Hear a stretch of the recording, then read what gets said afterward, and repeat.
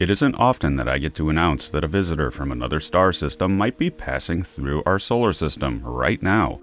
This newly discovered object, known as A2017U1, appears, if its trajectory is indeed hyperbolic, that it is not gravitationally bound to the Sun, meaning that it may have originated in an entirely different star system.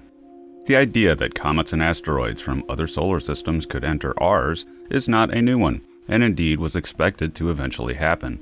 We know from models of our own Oort cloud that comets tend to get ejected out of the solar system far more often than get deflected into the inner solar system.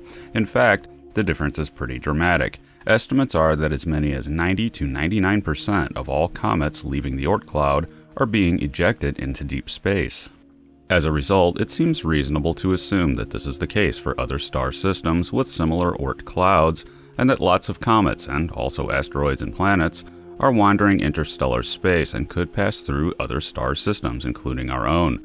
This particular object is thought to be about 160 meters in diameter and somewhat reddish in color. On October 14th, it passed a mere 0.16 AU from Earth, and while that's 15 million miles, it's still quite close on solar system scales. Incidentally, the object was not discovered until October 18th, after it had passed by Earth.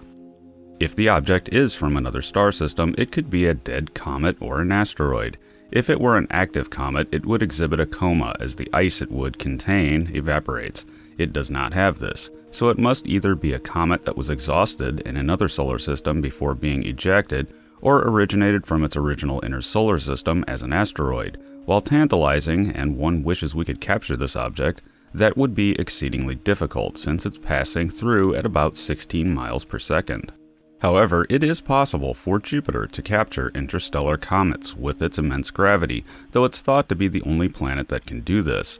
And, in fact, there are two candidates for this. Both Comet Machholz 1 and Hyakutake C 1996b2 have unusual compositions when compared to the solar system's other comets.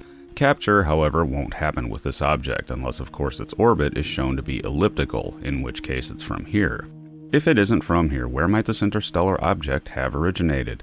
It would probably be impossible to tell, though it's coming from the direction of Vega, a star made famous by the movie Contact, and for being a very bright night sky star. We also know that Vega has lots of dust and material around it, but we will probably never know for sure. As an aside, it might surprise you, however, that this is actually not the closest interstellar material to Earth. We have it down here on the surface. Material from space, some of it interstellar, rains down on Earth constantly in the form of dust, and suspected interstellar grains were collected by the Stardust spacecraft and returned to Earth. Plus, they are also found in primitive meteorites. Unfortunately, this visitor object won't be around for long and is already on its way out, and was far too dim to be seen outside of large telescopes anyway.